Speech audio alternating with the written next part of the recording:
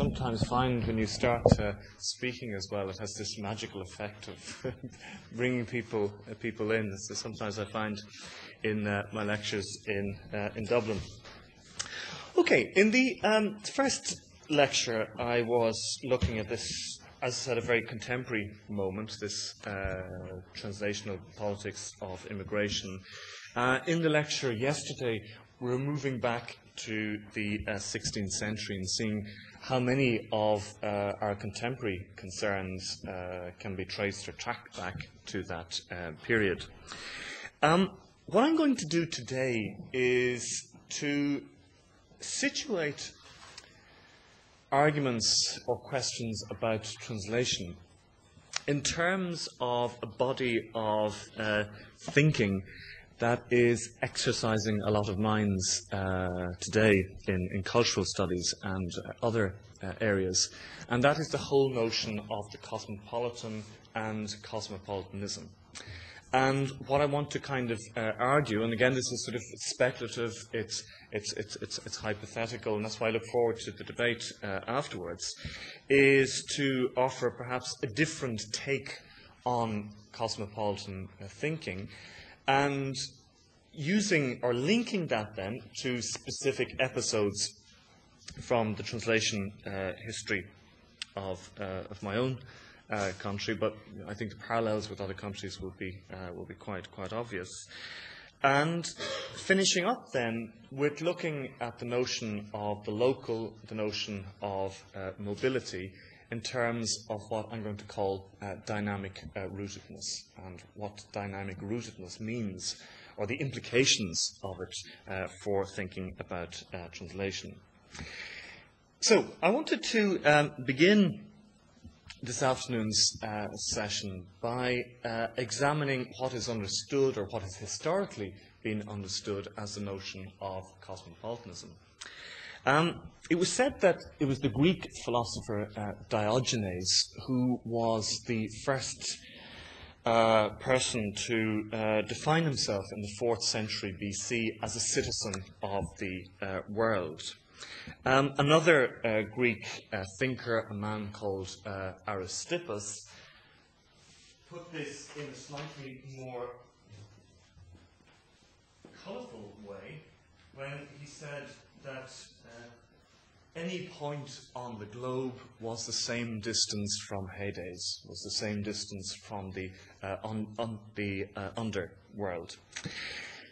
When the citizenship of the city of Zurich was offered to Erasmus in 1552 by Zwingli. Uh, Erasmus said, in response to Zwingli, turning down the offer of citizenship, that I wanted to be not a citizen of one single city, but of the whole world. So, the notion, if you like, of humanity as a collection of uh, free and equal uh, human beings, possessing the same basic uh, rights, and where notions of hospitality, of openness to others, um, of freedom of movement uh, are uh, primordial, that this kind of uh, ideal, this kind of utopia, is still a notion that underlies a great deal of our contemporary and current thinking about intercultural uh, relations, the importance of uh, translation in the contemporary world, and uh, so on. I want, in particular, to focus on uh, one book um, that was uh, published originally in uh, German by a man called Peter Coulmas, uh, which is translated into French and Spanish, and just last year into uh, English. But it's a book called uh, Weltbürger, which is Coulmas's history, if you like, of cosmopolitanism and thinking about cosmopolitanism, first published, to say, in uh, 1990. Um, is very clear in his introduction to the book. Um, he is deeply uh, sympathetic to the cosmopolitan uh, ideal or set of ideals, and he feels that any movement away from the cosmopolitan uh, ideal is negative, destructive, uh, nationalistic and uh, retrograde. And he says, uh, again, that cosmopolitanism is the only form of thinking about cultures and about peoples and about communities that's going to allow for long term sustainable coexistence of people on our planet. What Coulmas then does is he goes on to describe, uh, to construct his history of cosmopolitanism. Now, it's a history of cosmopolitanism that is extremely uh, Eurocentric, um, but I'll just give you the uh, outline as it goes. He basically sees the high points of cosmopolitan thinking, right, those ideals that I described uh, earlier, as occurring at certain privileged moments in history, and what are they?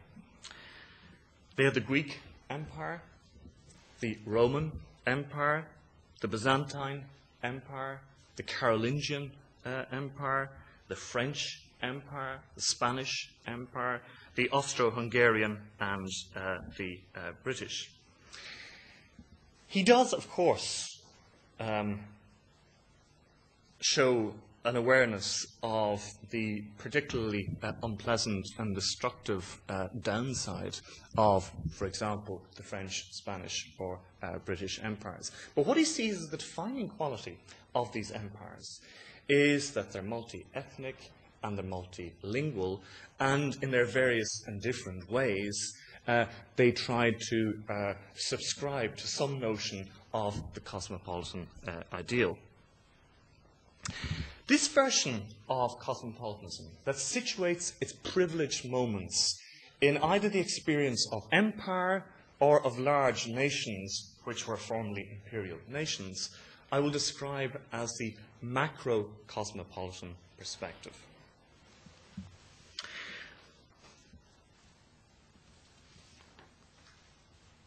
The macro cosmopolitan perspective, empire, large nation state that was formerly imperial, or a large supranational organization or federal structure, such, such as the European uh, Union, is the one that's consistently celebrated in uh, uh, book.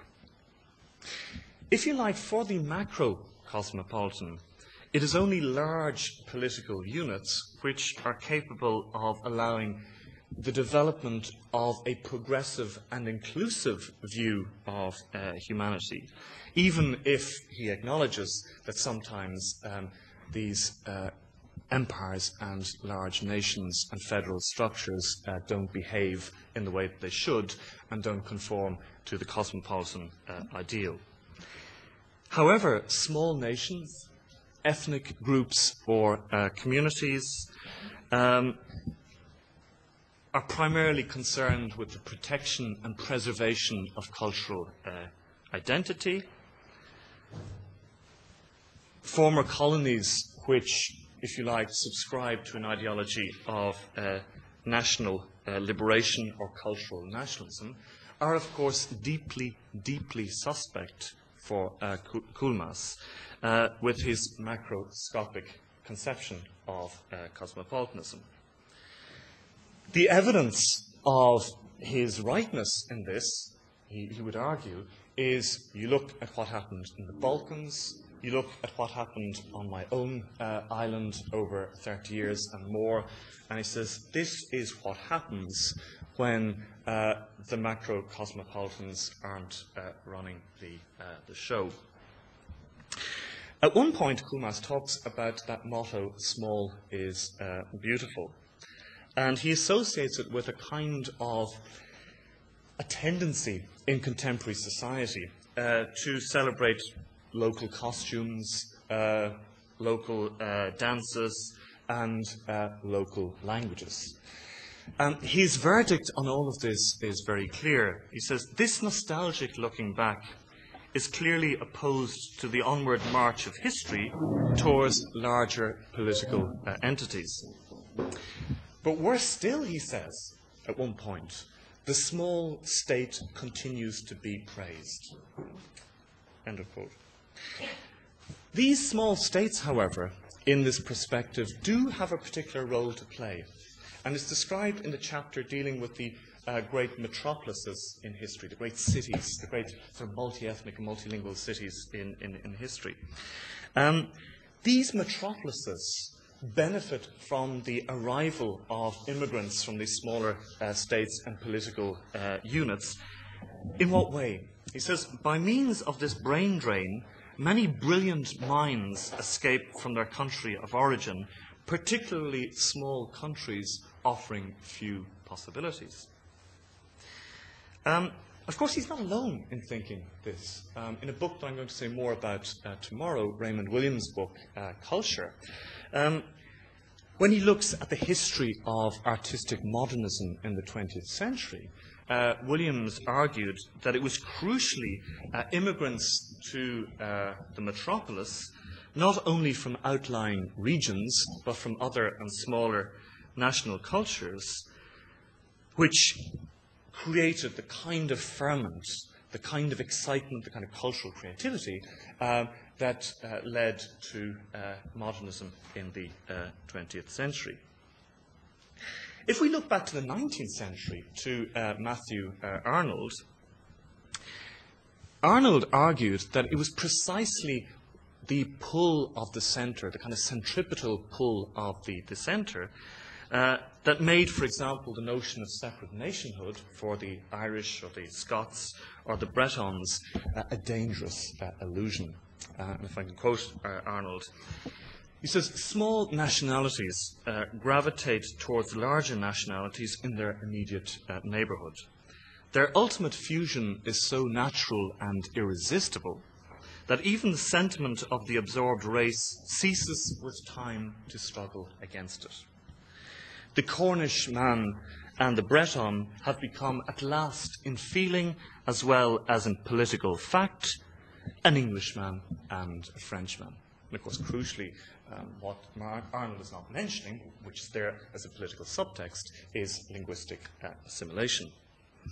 Um, the 19th century Swiss uh, writer uh, Rodolphe uh, Töpffer um, talked about how, for someone uh, on the outside the, the, the, the, metropolis, that the only way your work could be uh, consecrated was uh, through the metropolis, where, if you like, uh, judgments were then internalized by those on the uh, metropolitan edge.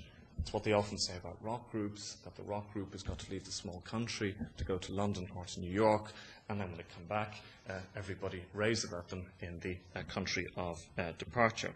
What uh, says, it is absolutely necessary that if this man, a writer, wishes to be famous, he must bring his trashy talent to the capital, that there he must lay it out before the Parisian experts, a Swiss French writer, pay for their valuation, and then a reputation is concocted for him, which goes from the capital into the provinces where it is accepted with enthusiasm. And one wonders whether, in fact, and we can talk about this afterwards, um, whether in terms of translational politics, um, the English language has not become a kind of free-floating metropolis in terms of what kinds of texts get translated and what, what don't, but we can, we can talk about that uh, later. So if you like, in the view that's described by Williams, the, what's described by Töpffer, although for Töpffer in an, an ironic uh, fashion, but by, by and by many, many others, is that what small countries do, smaller political units, is that they're a kind of pre-cosmopolitan nursery, a kind of pépinière, um, where, if you like, um, or a kind of a warehouse where you get these kind of cognitive uh, raw uh, materials, um, which await uh, the kind of necessary processing and polish of uh, the uh, present and former capitals of uh, empires. If I've referred to Coulmas um, on a kind of number of occasions, um, it's because he, offers a very nice kind of summary of some of the basic pieces of what I call this uh, macro uh, cosmopolitanism. Um, but what he expresses also is, you know, an abiding sort of hostility, which he shares with many others, um, to anything that can be seen to define itself in terms of sovereignty or cultural uh, particularism. So, what I would like to propose um, this, I never know what to say this afternoon or this evening. I suppose it's afternoon gradually uh, moving into evening, which is why struggling against sleep can be a, a gargantuan task at, at various points. Um, but it's, uh, I would like to propose a notion of um, micro cosmopolitanism, which um, I'm opposing strategically to uh, macro uh, cosmopolitanism, although we'll see later how these things can, can flow into each other. Um, macro cosmopolitan thought would share a number of macro cosmopolitan ideals. In other words, the notion of freedom, the notion of openness, the notion of respect, the notion of uh, tolerance, respect for others, and uh, so on. But it's crucially different in the site of its operation the location of where it, it happens, and the way in which it foregrounds other perspectives, other areas of inquiry. Um, and above all, it seems to me, in freeing um, the notion or theory of cosmopolitanism from an historical vision and a set of ideological uh, assumptions um, that threaten, it seems to me, many cosmopolitan uh, ideals uh, as a necessary element of human uh, self understanding. And it also limits, it seems to me, the ability of cosmopolitan theory in its present macro form to speak to people in many different and varied uh, situations. So, why do we need, if you like, uh, a microcosm, microcosmopolitan perspective? And what does it uh, consist of? Let me begin by the need, it seems to me, for such a uh, perspective. If we look at the situation that prevails on our planet today, we have now more nation states than at any other time in the history of the, uh, the globe. None of these uh, nations seems politically very intent on dispensing with their independence or with their uh, sovereignty. Now, I'm not talking about the economic realities of their situation, but certainly politically, there doesn't seem to be any great uh, rush uh, to do this. Even, for example, when people are transferring political powers to a federal structure such as the European Union, um, it, this is still articulated in terms of uh, notions of political independence and uh, sovereignty.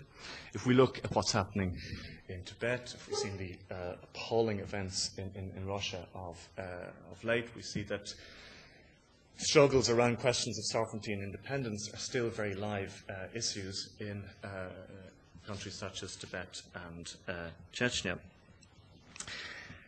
So it seems in this kind of context um, that it is fairly unlikely that these uh, small new uh, nations, who often with great difficulty have freed themselves from the circumstances in which they uh, found themselves, are going to be uh, particularly impressed by being told that the whole notion of uh, distinctness, of particularism, uh, is outdated and reactionary, and the clinging to uh, any notion around this automatically excludes them, uh, de jure and de facto, uh, from participation in uh, any notion of the cosmopolitan uh, ideal. It seems to me there's a very dangerous and fatal consequence of, of doing this. In other words, what you do is you set up a kind of progressive cosmopolitanism in opposition to a kind of bigoted essentialist nationalism uh, where, if you like, the latter has absolutely no place for the uh, former. In other words, the inhabitants of uh, the, smaller uh, political units find themselves subject uh, to what Gregory Bateson famously called uh, the double bind in his attempt to explain the origins of uh, schizophrenia, the kind of idea that you're damned if you do and you're damned if you uh, don't. Uh, in other words, that you either abandon any form of uh, national specific uh, identification, which is associated with the worst forms of kind of irredentist prejudice, and you embrace the cosmopolitan uh, credo, or you persist with a claim of national specificity and you place yourself outside the cosmopolitan pale, being by definition incapable of openness to the, uh, the other. It seems to me the effects of this kind of double bind are extraordinarily uh, damaging. Just as Bateson described the, the paralyzing effect of this on the, social, on the, the, the psychic life of the people that he was uh, describing, it seems to me that uh, this kind of double bind is similarly uh, crippling and paralyzing a lot of cultural analysis, and I think this also applies to the uh, translation uh, domain.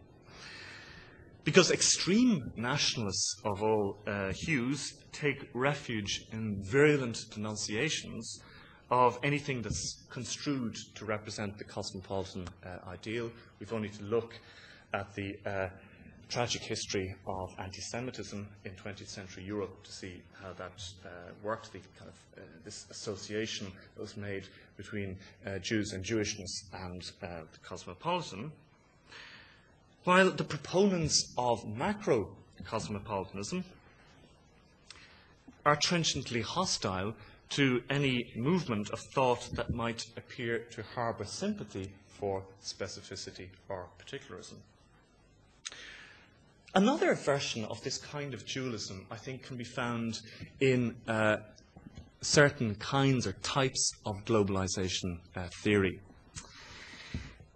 If you like, globalization is very often presented by its, uh, its opponents, those who are, who are hostile to, to versions of, of, globalization, as basically kind of process of whole-scale standardization, of homogenization, that you know, every high street in Europe or throughout the world begins to look the same. It's the same kind of retail uh, shops. It's the same McDonald's. Uh, it's the same chain of supermarket stores, uh, etc. It's what I've described in the globalization book as the notion of globalism as colonialism uh, rather than colonialism. In other words, that it's, it's, a kind of doubling, it's a replication of, of the same over and over and over uh, again. In this vision of globalization, uh, the process is dominated by uh, multinational corporations and international organizations such as the World Bank, the IMF, etc. And all this is at the behest of the kind of political grand master, uh, the uh, United uh, States. Now, this thesis, um, and I'm giving a slightly sort of um, what to say, uh, a parodic uh, version, a more an extreme version. But this has been challenged by a number of theoreticians on uh, globalization, uh, such as Roland Robertson, Manuel uh, Castells, and Jonathan Friedman, who see, in fact, uh, globalization as a process that is much a kind of fragmentary and centrifugal force, kind of moving outwards, breaking up right, encouraging those tendencies as it is to a kind of centripetal, standardizing, homogenizing uh, force. Their analyses, on the face of it, would seem to uh, challenge the hegemony of the powerful. But in their kind of analyses, they do not, uh, at some level, uh, offer smaller uh, political uh, units a, a, particularly promising role. As what's happening in this kind of view of the kind of centrifugal or fragmentary notion of globalization is that the role of um, particular uh, ethnic communities, of uh, cultural specificity, um, of uh, smaller political units asserting the right to political independence, is that they act as a kind of essentialist counterweight uh, to the standardizing effects of globalization in its centripetal uh, form.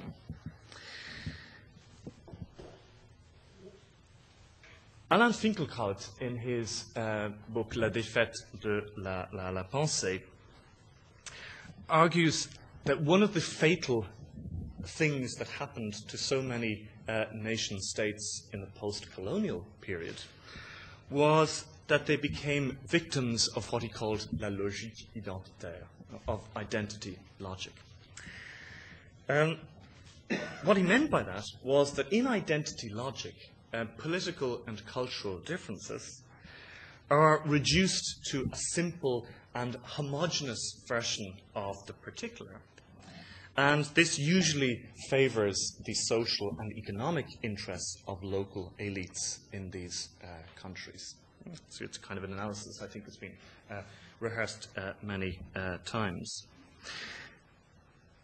So, if you like, as somebody um, who comes from uh, a place which is often presented as an example of that sort of centrifugal uh, force in the contemporary uh, world, but where over 3,000 people um, died uh, in often very violent uh, and tragic ways in a conflict around notions of identity, around notions of difference, around notions of the, uh, the particular. Um,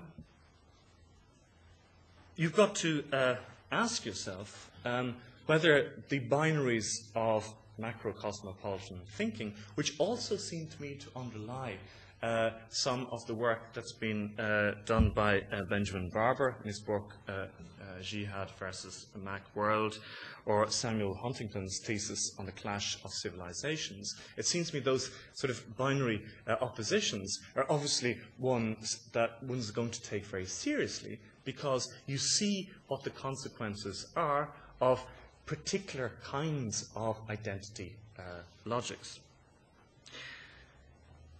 Microcosmopolitan thinking, for me, is an approach um, which does not involve a kind of stark opposition of uh, smaller political units with larger political units, whether they be national or uh, transnational but one which, in the general context of the cosmopolitan ideals that I've mentioned uh, earlier, seeks to diversify or to complexify uh, the uh, local uh, or the smaller uh, unit.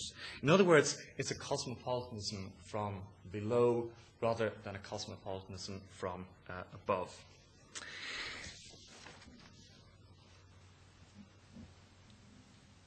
What I want to, in other words, suggest to you uh, here is that it's possible to have um, a notion of difference that is within rather than beyond uh, the political unit. And the translation is going to be one of the ways of thinking about difference within rather than beyond uh, political uh, units. And what I would like to do to be in order to kind of describe some of the ways in which you might think about this, um, I want to, to borrow one or two um, ideas from work that I did on uh, travel writing this book uh, across the, uh, the lines. Um, in this book, at one point, I talk about the notion of fractal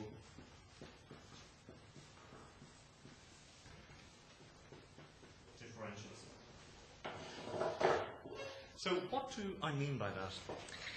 In 1977, the French mathematician uh, Benoit uh, Mandelbrot wrote an article with a very simple title. He says, How long is the coast of Britain? So, it seems on the face of it to be very simple. If you can imagine an enormous measuring tape and you just sort of measure uh, put it over the, the line of the coast, and you get the uh, length of uh, the coast of Britain. But what um, mathematicians found, and geographers when they began to do that, is that each time you came to a stretch of, of coast, um, that as you went down to the smaller and smaller fragments of the, uh, the coast, uh, each of these fragments showed the same level of complexity and irregularity as the, the larger ones. So that meant if you can imagine your tape, your, your sort of tape measure, um, that you then, where you thought was going to be a straight, straight line, was in fact yet another uh, crooked line with all kinds of tiny little bays and inlets and coves and so on. Um, so, what Mandelbrot came up with was the notion of a fractal geometry, which was basically a geometry which took as its basic assumption that irrespective of the scale, whether you went from the macroscopic to the infinitesimally uh, microscopic, that you're getting the same degree of complexity, right? the same degree of irregularity from the, the macroscopic to the, uh, the microscopic. In the case of this particular book, I was applying that notion to travel. That someone who views, if you like, a landscape from a, a helicopter is going to see a certain number of things. Um, what will appear to them to be fairly homogeneous from the helicopter uh, will, to someone on a bicycle, appear more varied and more complex. Um, what appears to someone on the bicycle as fairly homogeneous, just goes by in, in a flash, they hardly see it, becomes very visible to someone who is walking. In other words, uh, the degrees of, of, of, complexity are there at, at all uh, levels. And what I was arguing um, for this against what I called the kind of discourse of exhaustion on travel writing, the idea that uh, because between 1900, for example, and 1945, uh, there were 320 travel books published about Ireland, that there's really no point in going there anymore. If you're an English language writer, because by Jesus, everybody had written about the place.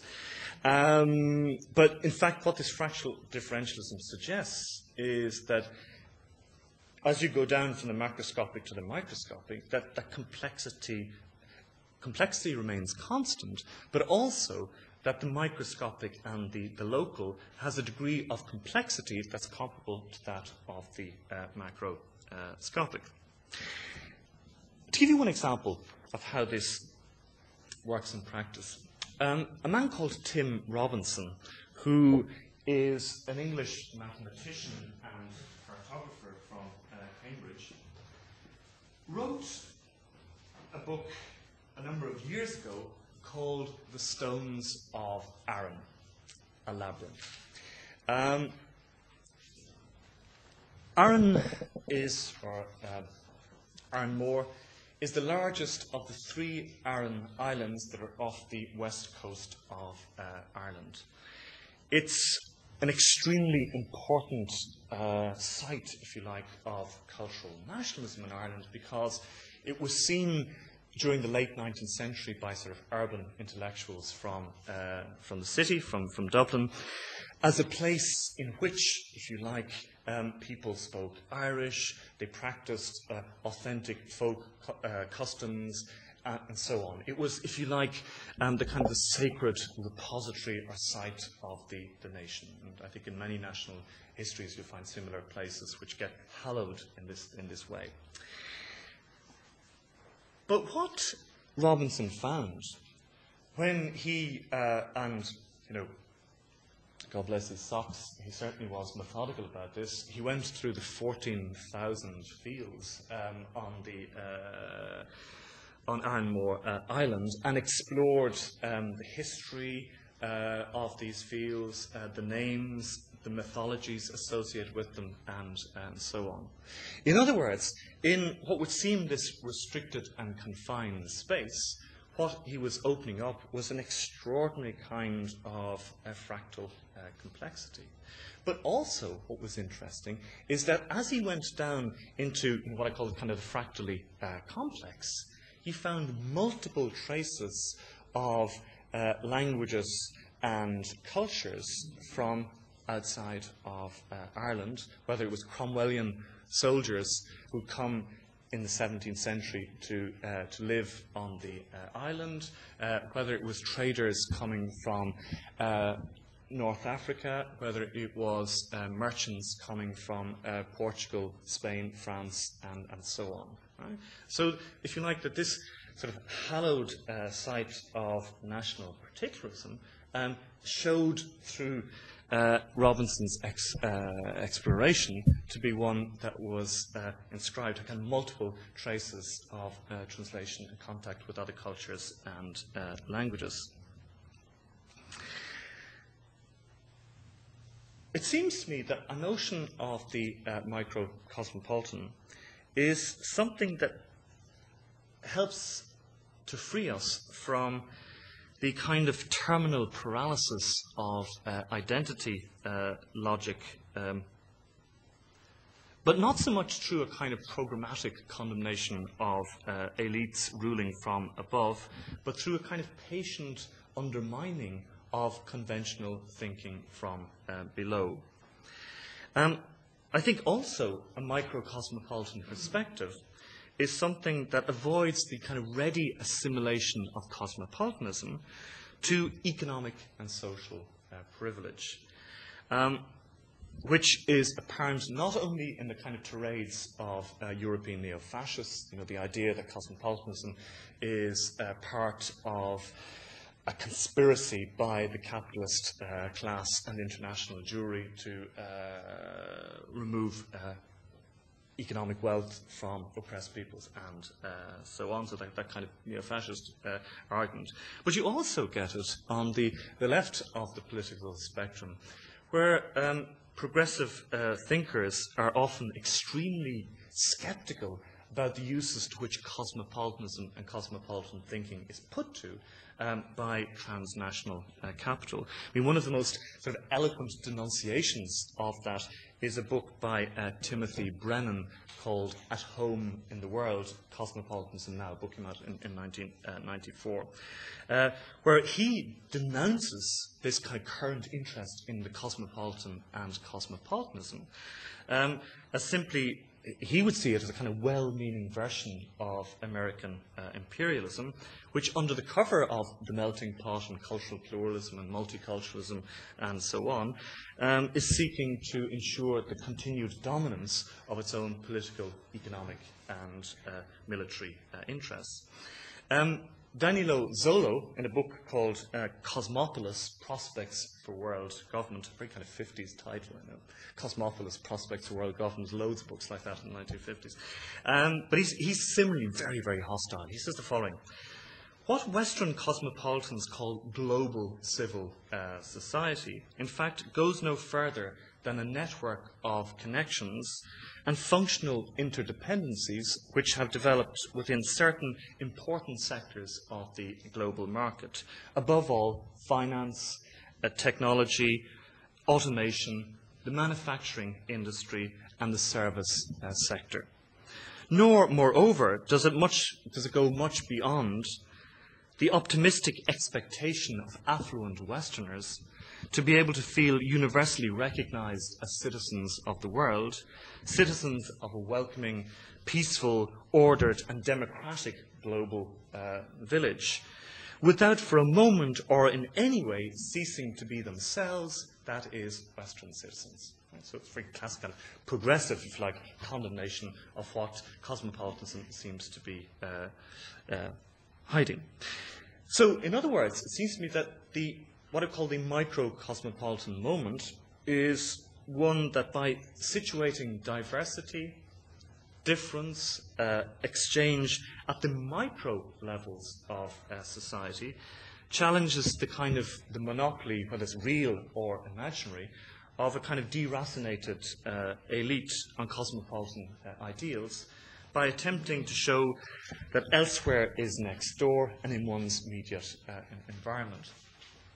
Something I want to just to refer to briefly before I go on to look at the specific example of um, some translation history is that very often when people talk about cosmopolitanism, interculturalism, multiculturalism, and so on, as I will talk about uh, this uh, tomorrow, um, it's cities that are seen to be the exemplary kind of illustration of this. It's in the urban centre, it's in the city, it's um, that we find this uh, happening. Um, Sherry Simon, writes translation theory in, in a book on called L'hybridité uh, culturelle, writes about the Mile End district of Montreal, and you know, she talks about the various uh, different cultural, religious, uh, ethnic influences uh, in this uh, area and how it, if you like, encapsulates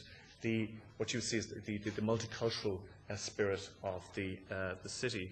But it seems to me that when we do that, one of the dangers is we set up a kind of an opposition between you know, the progressive cosmopolitanism of the urban centre versus the kind of, uh, kind of reactionary you know, patriotisme du terroir of uh, the countryside, the small town, or uh, the land. Hmm? Um, or the, you know, the area outside the, uh, the large uh, urban um, centre. And this means that you know, one of the kind of the eternal tropes of extreme forms of, of nationalism you know, is hailing back to this notion of, of soil, of rootedness, and, and so on, using its kind of rural uh, images. Um, and one of the things that a microcosmopolitan perspective, it seems to me, will allow us to do is to look at traces of translation, translatability, uh, sites of translation uh, activity, uh, and this kind of fractal complexity in all kinds of sites, and not just the large urban metropolitan uh, sites. So, if we um, look at the specific example then of um, translation history and the, uh, the, the, Irish case. Just want to give some uh, examples, and I hope in the discussion afterwards we can see examples from uh, other uh, countries. Um, Gerard Delanty, who's written an excellent book called Citizenship in uh, a Global uh, Age, um, at one point in his book, he defines what he calls the cosmopolitan moment. He says the cosmopolitan moment is, occurs when context bound cultures encounter each other and undergo transformation as a result. So, context bound cultures encounter each other and undergo transformation as a result. He says, only in this way can the twin pitfalls of the false universalism of liberalism's universalistic morality and the communitarian retreat into the particular be avoided. And so the cosmopolitan moment is one where, on the one hand, you don't subscribe to some kind of notion of the universal which would you know, prescribe the same uh, ideas and concepts to, uh, to everyone, but nor would you have the notion of uh, community and ethnic identity being the be all and end all of uh, everything. For Delanty, what is absolutely crucial in the cosmopolitan moment is the interaction between what he calls the local and the transnational.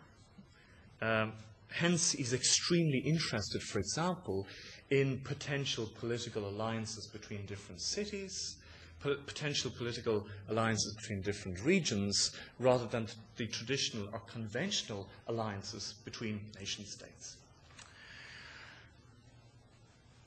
What I would like to do um, now is to suggest that one of the extremely fruitful ways that we have of linking the microcosmopolitan to the, the transnational uh, is by way of translation uh, history. And already in a number of conversations I've had with people uh, around the, the, the, the table, uh, you know, I can see the way in which this uh, can work its, its way out. Um, one of the things I think which characterized uh, translation history in its, um, its earlier phases. And I think that, you know, if I think back to my first book, Translating Ireland, I think I was sort of guilty of it myself, is a tendency to consider translation activity within the borders of the nation state or the political uh, unit that you, ha- you happen to be uh, studying. Uh, in other words, concentrating very much on the kind of translation activity that was going on in the country or national unit that you were uh, describing. The problem about that is that it ignored a dimension to translation which seems to me to be terribly important in so many different uh, cultures, national and supranational. And, uh, Anthony has, has, has, written about this, um, which is the diasporic or the transnational. In other words, one can always ask the question whether to some extent we can ever really talk about national histories of translation and whether, in fact, by very definition of the object of our study, they are transnational. They, they, they, they, they have to be almost implicitly or by uh, definition. So, what I want to do is to give you just three uh, brief examples of um, how this uh, can happen in the case of uh, one particular country, um, Ireland. So, uh, uh, which might be described, if you like, as cosmopolitan but micro-cosmopolitan uh, moments, where you're getting this, this, sort of interface between the local and the uh, transnational. The first is the medieval uh, period, where from the 7th century onwards, you're getting what's called the peregrinatio, uh, peregrinatio per amore Dei, the pilgrimage for the love of God, some cynics would say it was a pilgrimage in search of better weather, um, but Irish monks took off in large numbers uh, from their rain swept island and went to continental uh, Europe, where uh, they set up many uh, monastic uh, foundations. They literally ran into the, the hundreds um, from uh, Brittany to Kiev. One of their main functions, if you like, in all of this was um, the reconstruction of the educational system uh, for the Merovingian and the Carolingian empires. One of the things that the Merovingians and the Carolingians wanted to do was to reconstruct a kind of an educational infrastructure um, which had gone into uh, decline uh, during after the, uh, the fall of, of, of, of Rome so the, uh, these Irish monks, if you like, were sort of uh, foot soldiers uh, in this attempt. One of the crucial aspects of that was, of course, using Latin as a kind of a linguistic glue to hold uh, the Merovingian and the Carolingian kingdoms to, to, to, together. Uh, why do the Irish get involved in this? Um, Latin, because the Irish spoke uh, Irish Gaelic, a Celtic language, Latin for them was an utterly foreign language. They, they, they, they, they you know, for them, they, they, had to approach it as uh, an object that was, by definition, uh, foreign. One of the effects of this was that um, the first pedagogic grammars of Latin are produced by these Irish monks. Because at this stage, if you like, for a lot of the children and uh, young adults they're going to teach, Latin has become a, a foreign uh, language. Um, so they need to acquire it in the way, uh, in a kind of a, coherent, systematic, pedagogical way. Whereas a lot of the grammars that were produced in antiquity were kind of examples. There weren't so much formal, systematic descriptions of the language as examples of the right way to speak, uh, or you know, samples from the best authors, and uh, so on. Um, so, what happens then is these monks coming from very small, uh, geographically isolated, geographically scattered uh, monastic communities on the western seaboard of, of Europe uh, are going to be uh, involved in the Carolingian Renaissance. And through the translation activities of a particularly prominent group of 9th century uh, translators, such as Johannes Scotus Eriugena, uh, Sedulius Scotus, and, and others, um, they would be responsible for the introduction of Neoplatonism into uh, sort of into European uh, thought, and that would be would be one of the things um, sort of driving the, sort of the, uh, the revival of learning in the, the 12th century, or what some people refer to as the kind of the, the mini Renaissance, the pre-Renaissance, or, uh, or whatever. Um, but what's significant about this moment is the traffic, of course, was going both ways. that the, the, the, transnational was feeding into the local, and the local was feeding into the uh, transnational. The second moment that I wanted to mention, particularly because it uh, directly relates to um, where José Lambert teaches, is the role of uh, Leuven.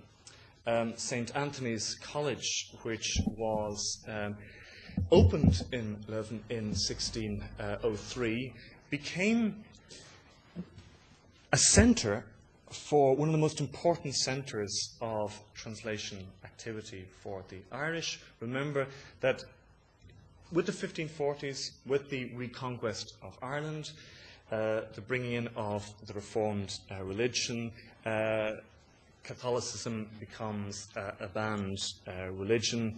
Uh, many of the priests have to leave the country to be educated in other countries in Europe. This is why we get the Collège des Irlandais in Paris. This is why we get the Irish College in Salamanca. This is why we get St. Anthony's College in, in Leuven. Um, so what Leuven becomes is, on the one hand, uh, an important part of the kind of the transnational uh, organization of the Counter-Reformation, hmm, because texts are being translated into, uh, into Irish Gaelic, they're being sent up to Scotland, uh, intelligence reports about the state of people's uh, political and religious, religious and theological beliefs are being sent from Scotland to Leuven. They're being translated into Latin or into Italian, they're sent to uh, Rome, and uh, so on.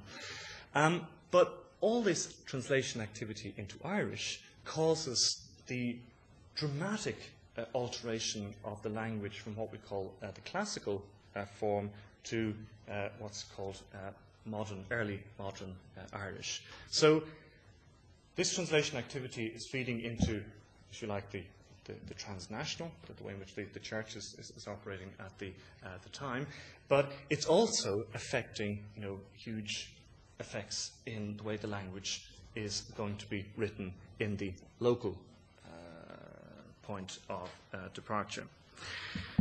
The third uh, moment is post independence. Um, not everybody enjoyed the post independence party. Um, what happened was uh, precisely the kind of uh, difficulty that was described by Finkielkraut and others, which was the triumph of identity logic. In other words, the state, after independence, promoted the notion of the only authentic form of Irishness was to be Catholic, was to be Gaelic speaking, uh, was preferably to have a small farm in the west of Ireland, uh, and that anybody who did not belong to uh, these categories was not truly uh, Irish. What it meant in terms of, of literature was the favouring of very conventional or traditional forms of, of, narrative that would kind of tell the heroic story of uh, Ireland's uh, oppression. Um, Joyce had already sensed that this was going to, to, to, to happen. You know, he'd, he'd left uh, the country. But then in the 1930s, Samuel Beckett uh, goes into exile. He goes to, to Paris. There's a whole series of uh, other poets, um, Denis Devlin, Brian Coffey, Thomas uh, MacGreevy, um, who are crucial in creating and contributing to um, you know, what's referred to as uh, high modernism or aesthetic modernism in uh, European uh, literature. So, if you like, they're, they're part of that sort of transnational uh, movement in uh, writing and culture. But of course, the fact of their, and all of these, of course, are translators. Translation is very, uh, less so in the case of Joyce, but certainly in the case of Beckett and the others, is a very important dimension to their activity. And it's that activity that then is going to feed the kind of the counter uh, revolution in the 1960s um, with the sort of redevelopment of the modernist tradition in uh, writing on the island of Ireland uh, itself. Another um, aspect to this that I should just mention very, very briefly, because it often gets um, ignored, is um, the role of uh, the Irish in uh, missionary activity in uh, many parts of the world, particularly in Latin America and in Africa, which involved uh, linguistic activity, which involved translation activity, uh, which meant, if you like, that in a sense there was no part of the place, however small or local, that did not have a kind of a contact with someone or with a person or people in very many different parts of the globe. So, to this, um, very often to this uh, missionary uh, activity. Um, so, what I would like to sort of um, take from uh, these different uh, movements is that microcosmopolitan transnationalism um, is arguing not that a sense of place or a sense of identity be dissolved into a kind of rootless, uh, free floating uh, geography of kind of uh, diasporic fragments just floating uh, here and uh, there, but rather that we look at transnational phenomena like translation to reinvest places uh, with a full sense of their connectedness and their uh, complexity. Uh, and th- those places, no matter how small. In the words of uh, Alastair McIntosh, who was a S- Scottish activist and uh, academic, well, he was an academic until he lost his job in the University of uh, Edinburgh for suggesting uh, a bit too vocally and strongly that uh, oil companies were doing a lot of damage to the Scottish ecosystem. So all of a sudden, uh, the university, which is receiving substantial funds from the, uh, some of the oil companies, decided that it wasn't a terribly good idea to have this man and his eco centre there. So uh, he was, his contract was uh, terminated. But, um, but McIntosh says the, the, the following. He says, if any of us dig deep enough where we stand, we will find ourselves uh, connected to all parts of the, uh, the world. Um, and I think it's in the context uh, of this, in the context of the kind of micro cosmopolitan commitment to the complexity of the, uh, the local, that we should look perhaps again at the connection between particularism and uh, universality. The problem is that particularism is easily parodied. It tends to get a kind of a bad uh, press um, because to be concerned about specific places or peoples or uh, cultures um, can very easily appear to be limiting. It can be, appear to be narcissistic. Um, and it's much less attractive than a kind of an abstract, universal compassion for you know, all peoples, all cultures, uh, all places, and uh, so on. And it's just in this uh, context that I would like to um, cite a philosopher, um, kind of feminist philosopher called Val Plumwood, um, who argues that our care for or our empathy with specific aspects of nature, for example, uh, rather than with nature as an abstraction, in other words, to be concerned with specific aspects of it rather than with it as a kind of an abstract uh, whole, is absolutely vital if there's to be any substance or content to our commitment or our concern, to be any kind of substance or validity uh, to it. Um, she says, for example, that care and responsibility for particular animals, trees, uh, and rivers that are well known, loved, and appropriately connected to the self are an important basis for acquiring a more generalized uh, concern.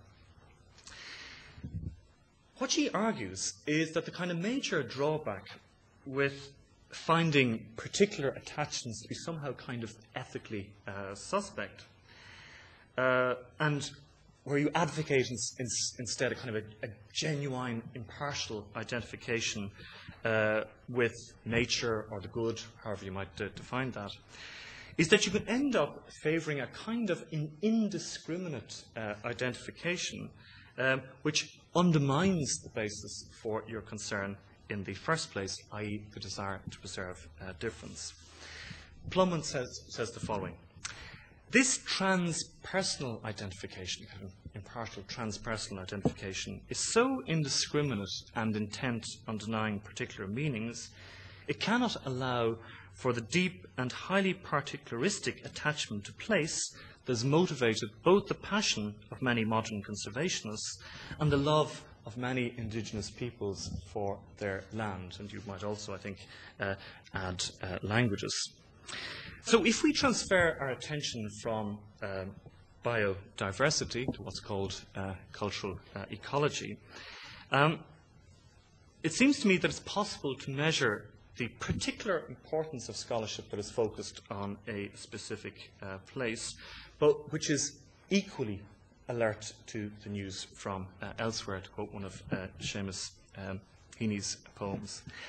Um, in a sense, it seems to me that what uh, Plumwood is uh, intuiting here is that a kind of microcosmopolitanism of um, the local, uh, rather than the kind of the macrocosmopolitanism that is conventionally associated with the, the, the notion, might allow for the emergence of a theory, theories of translation, and a cultural politics, um, which is crucially recentered, but is not ultimately self-centered. So, on that point, I'll uh, stop because I think I've been speaking for uh, an hour, which I think is more than anybody should be asked to listen to at this, this hour of uh, the, the evening or afternoon. Um, so, if you've any queries or uh, comments on.